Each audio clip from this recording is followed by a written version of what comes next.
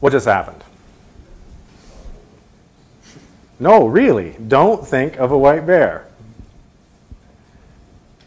You can't help it, right? When somebody says, don't think of a white bear, what comes to mind? A white bear. Oh, I wasn't supposed to think of that. Stop. When somebody shows you a picture of a white bear, what happens? Your associations with white bears come to mind. Social psychologists use that trick to illustrate something called automatic irrepressible cognition. We call it a prime. So when we show you a white bear, or a brand, or a package, or a product, or expose you to an advertising, we're priming you. The associations that you have with those stimuli automatically come to mind. You can't stop them from coming to mind. They come to mind and then maybe you try to repress them, but they've already come to mind. That is system one processing. It's associative in nature. Your associations with stimulus are automatically activated. It happens automatically without your control. The same is true when we show you a brand. Let's do Coca-Cola. We are in Atlanta.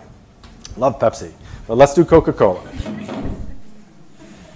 If we show you the Coca-Cola brand, just like white, a white bear, your associations with that brand are activated. So when you see Coca-Cola, what do you think of? Maybe global, maybe happiness. That's certainly perceived perception of that brand. Refreshing might be an attribute that you think of that brand. Calories, maybe on the negative side. These associations aren't always positive. But those associations that you have either move you toward or away from whatever that stimulus is. If they're positive, I'm moving toward on average. If they're negative, I'm moving away on average.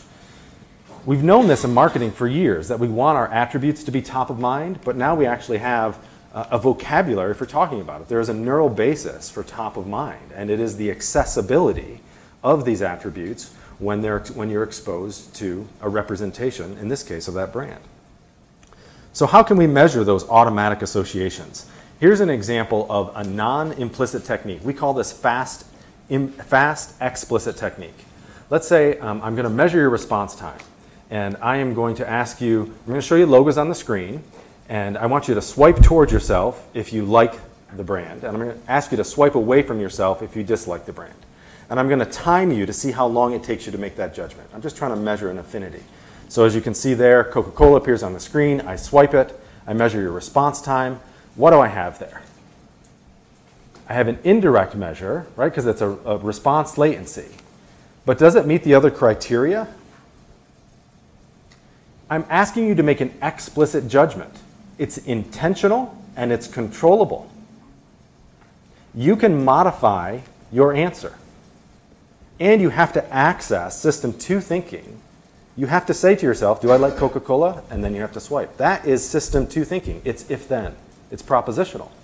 Even if I limit your response to less than one second, you still have to access system two thinking to make that answer. It's intentional and it's controllable. But the point here is that's very valuable. It's actually a good technique and we'll show how predictive it is. But it's not implicit.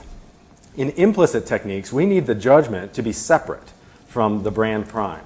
So I might show you a logo on the screen like Coca-Cola and then ask you to engage in a separate judgment task. Emotions are going to appear on the screen. If they are negative, swipe them away. If they are positive, swipe them toward yourself. The brand appears on the screen for half a second. It's a prime. Just like the white bear, you can't stop your associations from becoming active. They influence your ability to make the subsequent judgment. If they're consistent with that judgment, you can make it faster. If they're inconsistent, it creates cognitive dissonance and you're slower and you make more errors.